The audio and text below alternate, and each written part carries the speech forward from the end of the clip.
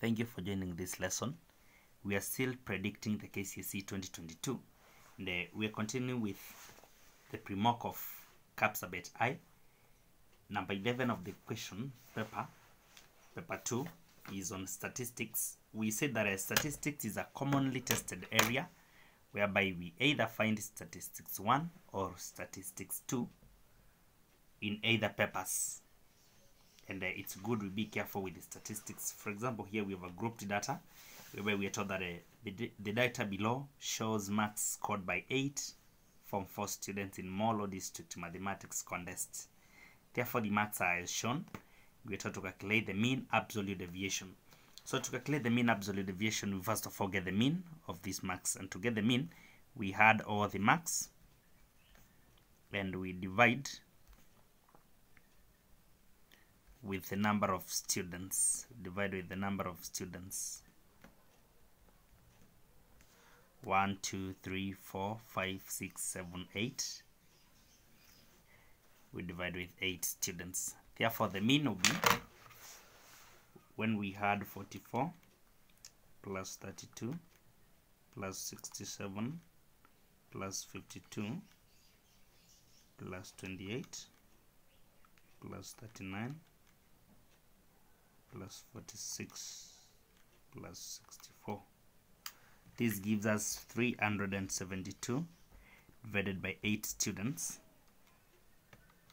So the mean score is 46.5 so when we talk of absolute deviations when we talk of absolute deviations we can first of all get the deviations.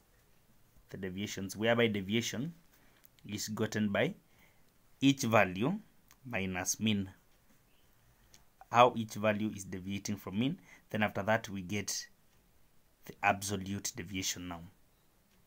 So the first deviation we'll have 44 minus the mean which will be negative 2.5 so negative 2.5 the absolute value of this is just 2.5 or rather the deviation without a negative sign just the absolute value. So that 2 minus 46.5 this gives us negative 14.5 and the absolute value is 14.5 the next one is 67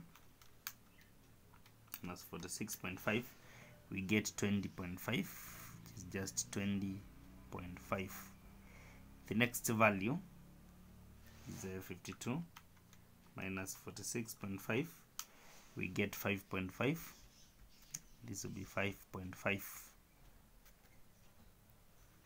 the next value after 52 we go to 28 minus 46.5 we get negative 18.5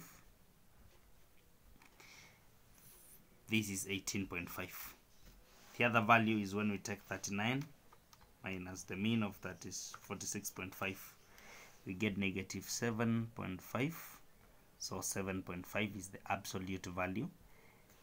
The other value is when we take 46 minus 46.5 giving us 0.5 negative. So 0.5 is the absolute value. After 46 we go to 64 minus 46.5 this gives us 17.5 so the absolute value is 17.5 so these are the absolute deviations. So we can get their mean now. The mean of absolute deviation. So the absolute deviations added and we divide with the total number such that 1 2 3 4 5 6 7 8 so the 8 absolute deviations 2.5 plus 14.5 plus 20.5 plus 5.5 plus 18.5 plus 7.5 plus 0.5 plus 17.5 this gives us 87 divided by 8 10.875 therefore when we talk of mean absolute deviation then we mean the mean of all deviations having taken their absolute value such that if a deviation is negative we just lift the absolute value of that negative deviation. So that is how we get mean absolute deviation. Thank you for following. Kindly subscribe to this channel share the link